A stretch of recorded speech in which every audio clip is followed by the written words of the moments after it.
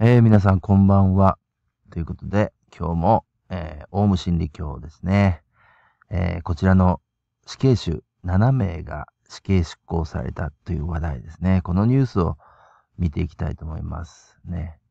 えー、皆さんはこのね、オウム真理教に関する事件、えー、一連の事件ですけども、これを、えー、信用するでしょうか？信じるでしょうか？私はね、全全く信用してません。ね。全部作り話だと思ってます。この、オウム真理教に関するね、えー、まあ、一連の事件ですね。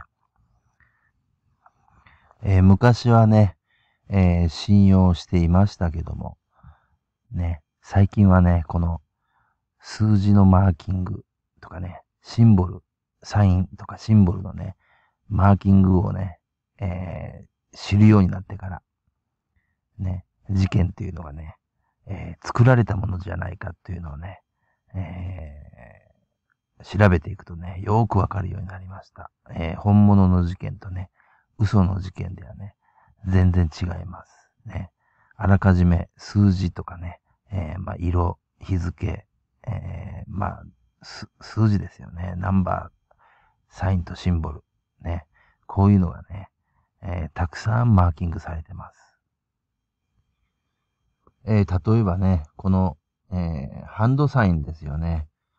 ハンドサインね、これ、えー、666、になってますね。666になってますよね。これをね、よーくやってます。なんか仏教かなんか知りませんけどもね。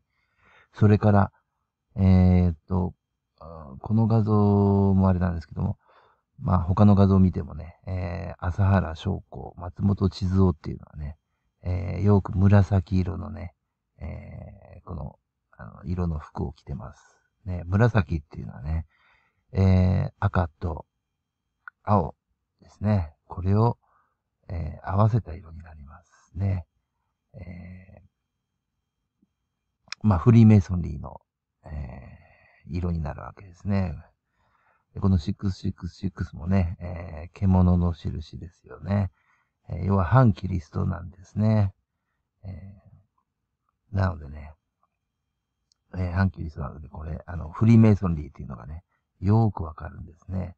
えー、彼ね、あの、フリーメイソンリー敵対してるっていう風にね、なんか書かれてましたけどもね、全然違います。あ、彼こそがフリーメイソンリーなんですね。えー、これはね、えー、オウムを暴走させた三つの天気。ね、朝日新聞ですね、これ。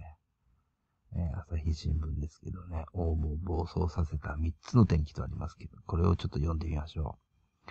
法務省は7月6日、1995年3月の地下鉄サリン事件など計13事件で27人を死なせたとして、有罪が確定したオウム真理教元代表の松本千鶴朝原翔子死刑囚63歳ら計7人の教団元幹部の死刑を執行した。一連の事件では13人の元教団幹部の死刑が確定しており、執行は初めて。ね、こういうふうに書いてありますけどもね。こうパッともう見てね、お気づきかと思います。えー、っとね、13というね、数字がね、よーく絡んでます。例えばね、この7月6日、これ、合計すると13になりますね。そして、ここは1995年3月。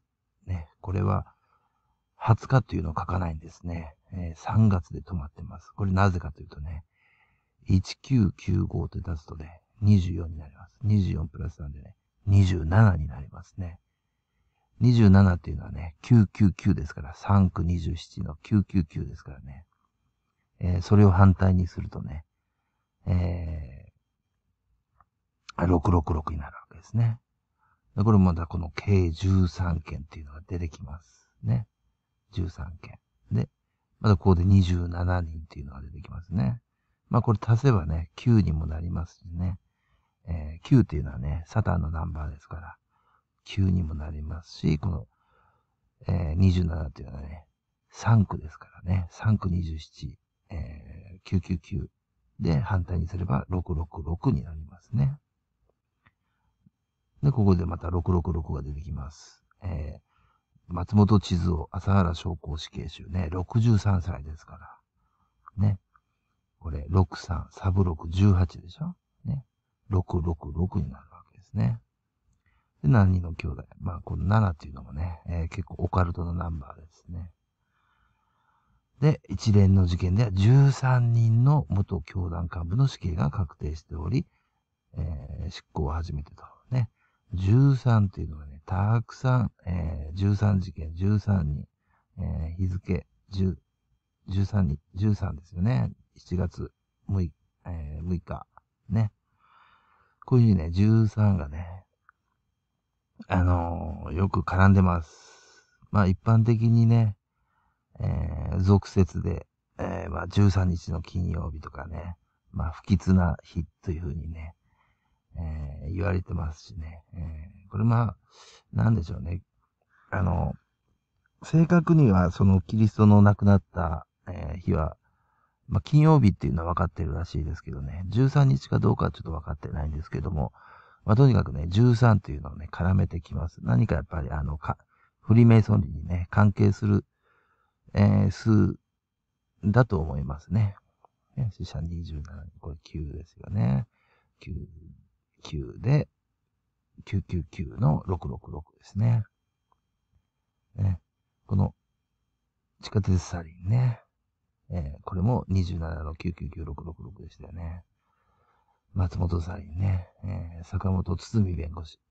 ね。この89年坂本堤弁護士とかね、えー、一家さ殺害なんていうのはね、これあのフリーメイソンリーの33がね、たくさん絡んでます。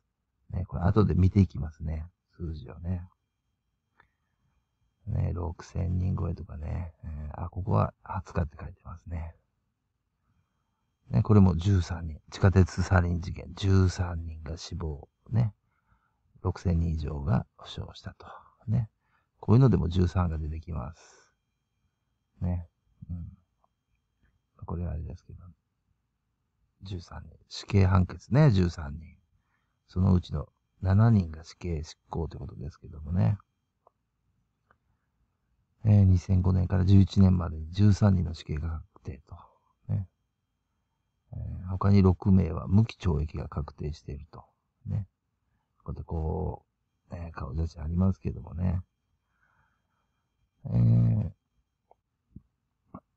まあ私はね、えー、これ全員、あの、生きてると思ってますから、死刑執行なんていうのはね、えー、やらせだと思ってますからね、えー、信用しません。まあ、いろいろね、えー、たくさん膨大な資料がありますけどね、ほとんどが作り物だと思います、これね。あの、devils in details っていう感じで、あの、悪魔はね、詳細に宿ります。細部に宿ります。ね。あの、詳細を見ていくとね、詳しく細かいところを見ていくとね、こういうのは嘘だというのがね、よくわかります。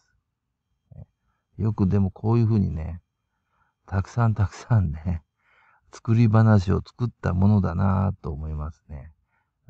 中にはね、もうなんか変な話もあります。ね。いかにも作っただろうっていうようなね、なんかね、えー、笑わせる話もたくさんあります。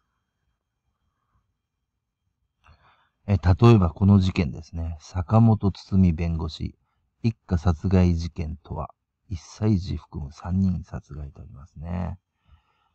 えー、これストーリーね、いろいろ書いてますけども。まあ、坂本堤弁護士は89年5月頃から、教団の出家信徒の親から相談を受けて、教団と交渉するようになり、被害者の会の立ち上げにも関わっていたと。ね。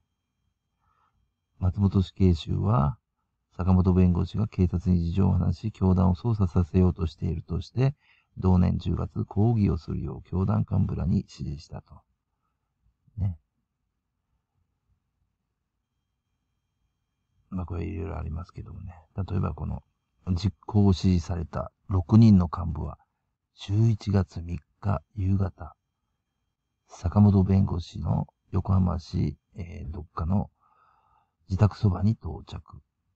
えー、最寄りの駅の前で待ったが深夜まで待っても現れず確認したところ自宅の電気はついており、鍵がかかっていなかった。電話で説明を受けた松本死刑囚は、じゃあ入ればいいじゃないか。家族も一緒にやるしかないだろうと殺害を命じた。ね。で、坂本弁護士ね。あの、当時33歳ですから。ね。ここでも三々がマーキングされてます。そして、この達彦さん、達彦ちゃんか。ね。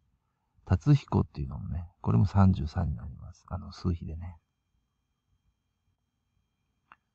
この95年9月ですよね。1995年が24になりますから、合計が。24プラス9で、33ですね。これも、あの、遺体が見つかったのも、ね、えー、33になるわけです。そしてこの、ちょっとウィキペディア、ウソペディアでちょっと見てみましょうかね。えー、坂本堤弁護士一家殺害事件ですね。えー、これなんて読むんだろう。あ、磯子区って読むんですね。さっきちょっと読めませんでしたけど、磯子区っていうところね。横浜市のね。えー、日付、えー、1989年11月3日、えー、から11月4日ですね。これ合計してください。ね。えー、と、19で10、89で17、でしょ？で、これでもう27ですね。27プラス2で29。ん ?29 に3足して、えー、32ですね。32から次の日の33ですからね、これね。やっぱり33が絡んでるわけです。これ日付も、日付も、えー32から33ということでね、32っていうのもね、311になりますからね。で、死亡者3人と、ね。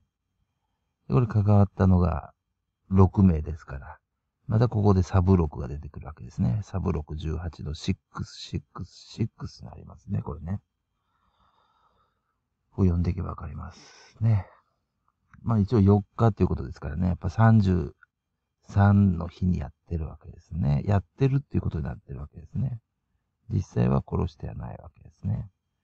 幹部6名が、ね、えー、3人を殺害したってことですから。で、当時33歳ですからね。もうこういうのでね、すぐやらせっていうのはね、えー、フリーメイソンリーの数字をマーキングしてるわけですから、やらせっていうのがね、すぐわかるわけです。こういうのもね、全部作り話ですね、なんかね。えー、こうやってね、オウムに狙われた風にしてますけどもね。こういうの全部作り話ですよ、これね。えー、遺体発見ですね。遺体発見。ね、これも数字が絡んでます。ね。えー、同年9月6日、警察により山中の捜索が行われた同日、坂本弁護士と妻の遺体が発見されたと。ね。これ96ですね。えー、これ反対にすればね、66になりますよね。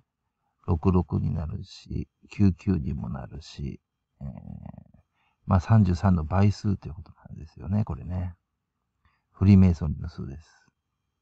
えー、それからですね、最後にちょっともう一つ、もう一つね、付け加えときますけどもね。えー、英国のフリーメイソン300年の歴史とその時代背景と書いてますけどもね、えー、300年どころの話じゃないですね。もう何千年ですよね。フリーメイソンリーの歴史っていうのはね。で、えー、このイギリスにね、グランドロッジがね、設立されました。ね、この年数はね、1717年の6月24日になりますね。えー、これからね、えー、13を足してください。13を足すとどうなるでしょう。えー、6月24日からね、13日、ね、その日を含めてするとね、えー、7月の6日という数字が出てくるわけですね。え、彼らね、これがしたかったわけですね。え、グランドロッジからのね、13日後っていうことですね。フリーメイソンリーの。